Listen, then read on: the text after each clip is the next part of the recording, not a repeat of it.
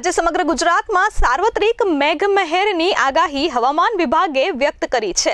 એટલે કે સૌરાષ્ટ્ર અને કચ્છના ભાગોમાં અને દક્ષિણ ગુજરાતમાં પણ ભારે વરસાદ વરસી રહ્યો છે.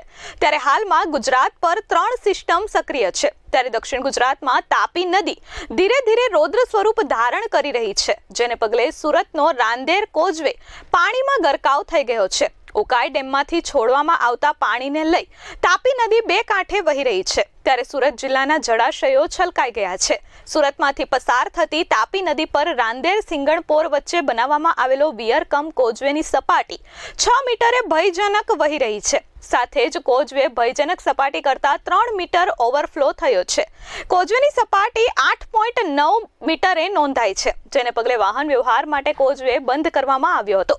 સુરત રાંદેર કોઝવે પાણીમાં ગરકાવ થયો છે. ઉકાઈ ડેમમાંથી પાણી છોડવામાં આવતા તાપી નદી બે કાંઠે વહી રહી છે અને તાપી નદીનું રૌદ્ર સ્વરૂપ પણ સામે આવી રહ્યું છે, જેને પગલે રાંદેર સિંગણપોર વચ્ચે બનાવવામાં આવેલો વિયરકમ કોઝવે હાલ ઓવરફ્લો થઈ ગયો છે. રાંદેર વિયરકમ કોઝવે ઓવરફ્લો થતા આહલાદક દ્રશ્યો સામે આવ્યા છે. ઉકાઈ ડેમના અગિયાર દરવાજા ખોલી નાખવામાં આવ્યા છે અને તાપી નદીમાં પાણી છોડવામાં આવી રહ્યું છે. વાહન વ્યવહાર માટે હાલ વિયરકમ કોઝવે બંધ કરી દેવામાં આવ્યો છે.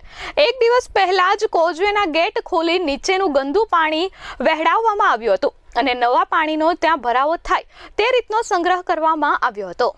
Bureau report S twenty four news Surat.